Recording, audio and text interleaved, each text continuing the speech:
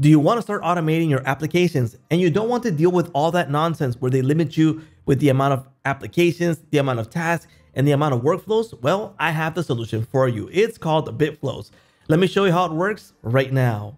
Hey, what's up everyone? So this is BitFlows and it's a WordPress plugin that you can install right now. The beauty about this is that it doesn't have to stick to WordPress applications. You can actually connect to any application that's out there, either to a direct connection that BitFlows provides via API or webhook. So it doesn't have to stick to WordPress.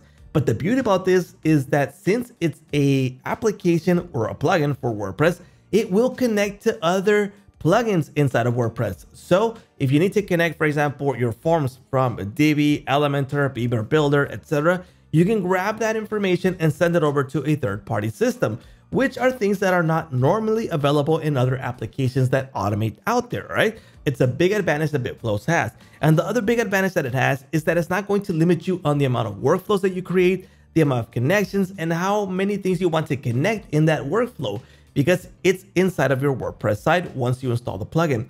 And you can also grab the free version that they have available and start using it right away. Obviously with a few limitations, but there's a free version. And if you like it, go ahead and jump into the pro version. Now in this case, I'm going to show you how easy it is to connect something from WordPress into a third-party application like Brevo. So I'm going to grab from Contact Form 7, which is a plugin from WordPress. I'm going to grab those details when someone signs up with my form, and I'm going to send those details to my email marketing service, which is Brevo, all done automatically with BitFlows, all right? So the first thing I need to do is obviously set this up. So let's go ahead and jump into create flows. So in this case, I'm going to select a blank template. So let's go ahead and create. Here we go. And we're going to get started with the first application. Now, before I do that, let me show you really quickly the applications that are available as of this video. So they are adding more as they go along. But if you can't find the application, the good thing about this is that you can use API or webhook. Now, things that I really love about this is that you have the option to connect with plugins that are out there from WordPress. For example, Contact Form 7, Divi Builder, Divi Form Builder. You got, for example, Elementor Form, Eventin. These are plugins that you can find inside of WordPress and you'll be able to connect them with other applications. So let's get started. Let's go ahead and select the first app. And in this case, I'm going to use a plugin that I've just installed, which is Contact Form 7, because I want to send over the data when someone fills out the form to a third-party service. Now, normally you would have to, for example, pay for an additional service for Contact Form 7 to get access to send that data elsewhere. But in this case, we're going to use a workaround per se. So in this case, I'm going to select the form that's built on Contact Form 7, which is this one right here. And the first thing I need to do is listen to a response.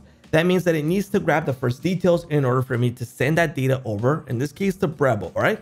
So let me go ahead and open up my site again. Okay, here we go. We're on our WordPress site. Let's go into our contact form. Here it is and we're going to find all the contacts form available here. In this case, there's only one, but I'm going to grab, I'm going to grab this short code because I'm going to add it to my page right now. Okay.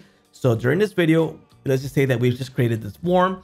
We are going to run a test for this and I'm going to edit with Elementor and I'm going to add the form into a page that I've built. So this is a really great use case where you have a form that is not complex. You don't have to go into complex settings and you set it up and you send that data over to your email marketing service. Okay. So let's search for an Elementor short code. Let's go ahead and add it right here. Let's add our code right there. And here we go. We now have our form. Let's go ahead and publish this. All right, let's go ahead and view it. And over here on our BitFlows uh, application, we are going to listen for a response. So it's waiting for us to fill out the form once so it grabs the details, okay? So let's fill out this once and I'm to say Jorge and message test. Okay, let's go ahead and submit this. Let's go into BitFlows and there we go. We just grabbed the details. So now let's go ahead and close this. We're good to go here. And next is what do we want to do next with the automation? It now knows that every single time that someone fills out that form, it's to receive the data here. Now, what do we want to do with it? It's up to us. Okay. So there's a bunch of things that we can do for the connections available here. You got apps and you got tools. So for example, if I wanted to grab those details and later send out an email, well, I can actually delay this a bit so it's not automatic. And then I can send over the email details and then start the email flow there. Okay, so let's get started with the connection. In this case, select the app and I'm going to use a Brevo for this. Here we go. And I'm going to create a contact. Okay, so the details that I'm going to grab is going to create a contact in my email marketing service. So what do I need to do? I need to connect to Brevo. So I need to grab the credentials of Brevo. So I'm going to click on this link right here. And in my case, I'm already logged into Brevo, but if not, go ahead and log in first, okay? And I'm going to create a brand new API key. And I'm just going to name this BitFlows.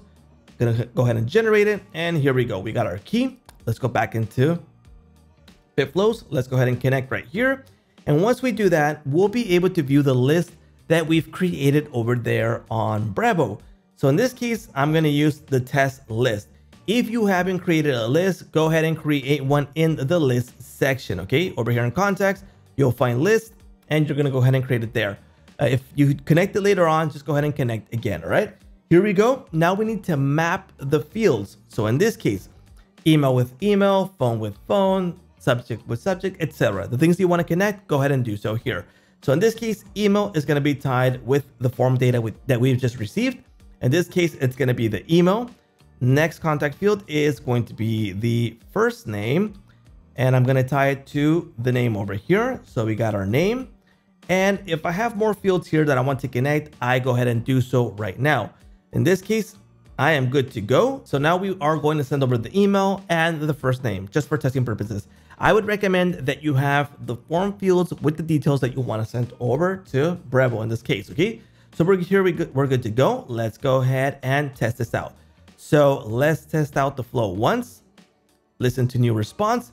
Here we go. And again, we're going to fill out the form. All right. So let's go ahead and refresh this. Now, the only details that I'm sending over is the name and the email. All right. And just for testing purposes, let's go into Brevo, contacts, lists. Here we go. Let's go to test.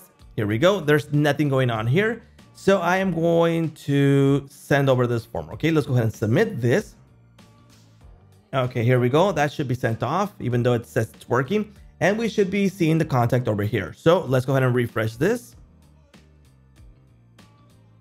And here it is. We now have the email automatically. What does this mean for you? I've just automated this in the video so you understand how easy it is to automate. That means that every single time that someone fills out this form, if they want to subscribe, if they want to send over their contact details or whatever, a support ticket, you're going to send over the details and we're going to have that contact added into our list for our email marketing service.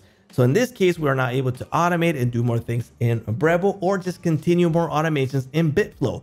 So that's like a super basic connection. Now, what if I want to further automate this and make it more complex? Well, let's just say that I want to use AI for this because I want to send more details to Brevo once it has more details received. Okay, so let's just say that on the contact form in the subject, what if there's a message saying, uh, give me your complaint, all right? And we're to use AI to read that and give us a summary or make it, make it like tag it in a way that we understand what it's for. If it's a complaint, if it's a compliment, if it's a whatever, we're able to do that with OpenAI in this case. So for example, here in BitFlows, I'm to unlink this and I am going to add here the application. So here we go. Let's go ahead and move this and we're going to connect it to, here we go. And in this application, it's going to be OpenAI. Here we go. Let's go ahead and select this. And I want to create a chat completion. So let's go ahead and select this. I will connect OpenAI with API. So I will need my API connection. Give me a second to grab that. Okay, here we go. We are now connected and I'm going to use for GPT 4.1 nanos since it's going to be a simple task. Mask token, I'm going to select 10. The message, here we go. The field is going to be user and the value is going to be the details that we need. So in this case, I want to use this as a tagging system for Brevo, right? So I'm going to say that if the it's going to act as a sentiment analysis and if the message is positive, tag it with positive and if it's bad, tag it with negative. So let me go ahead and write that. Okay, so I just wrote this simple prompt here that if it's positive, tag it as positive. If it's negative, tag it as negative. Yeah, obviously, you do have to do something way more uh, specific and more complex, okay? So the message is going to be grabbed from the form data, in this case, from the message, all right? And we can also bring in here the subject. So it's going to analyze both of these to tag it. All right, here we go. So here's the value. I'm going to close this. We're good to go. Okay, here we go. Let me go ahead and test this once. Okay, here we go. It's now listening. Let's go ahead and fill this out once. And I'm going to say I hate this. Uh, really bad service. And that's going to be the test message. Go ahead and submit this. And BitFlow should receive that data. Here we go. Now let's go back into Brevo. We should now have details to add as a sentiment. So let's go ahead and add a field here. Let's go ahead and select sentiment. Okay, so now let's go into values. Let's go into OpenAI and we should see it here in choices, message, and here it is, the content, negative, all right? So now it's gonna use sentiment analysis for the message that we received. Okay, so let's go ahead and close this and we're good to go.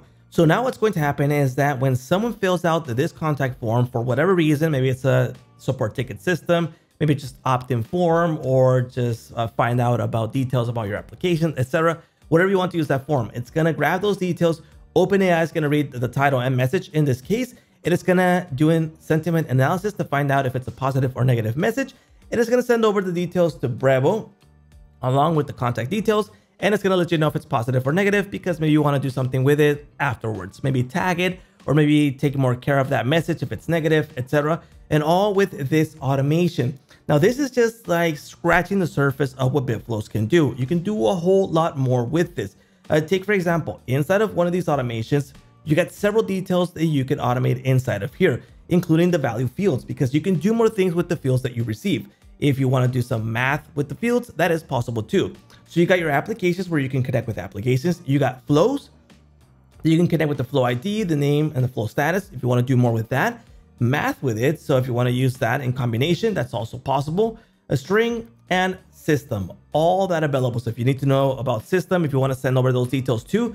So if someone is filling out the form and you need to know the system details, maybe that is possible too using this and it's up to you how you want to use that. So there's several details available there. So you got your applications, you got your tools, you got your connections that you've connected to. So you got a list of all of the applications that you connected to uh, here, just a really easy form to list them. You got your webhook details available here. You got your custom applications that you can start creating right here. So you don't have to specifically stick with what you have available as of now. You can connect a custom app from here and do the connection and your available settings available there.